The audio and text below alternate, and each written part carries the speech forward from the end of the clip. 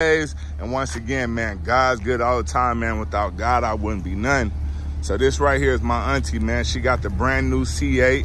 She riding, you know, looking good. Hey, auntie, show them how this hard top drop down. Most of them think it's just a regular hard top. Look at that.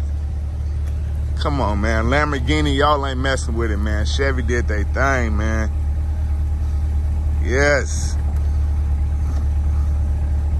Yes, that's sexy. Look, she even got the side air vents.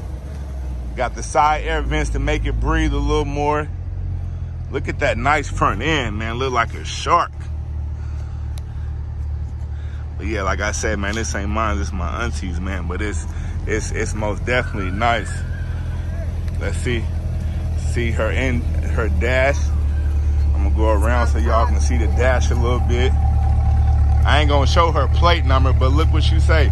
Dream car, won't he do it? Who she talking about? God, man. Gotta do anything. Gotta do anything. Won't he do it? Yes, he will. Yes, he will. Did it. All glory it to God. Wasn't me. Look, digital dash, nice screen. She fit comfortable in here, you know. I know she probably got a squat to get out of, but yeah, it's it's a Drop beautiful and roll, car. baby. Drop and roll. beautiful car. All right, Miss Lady, thank All you. right, You have a good one.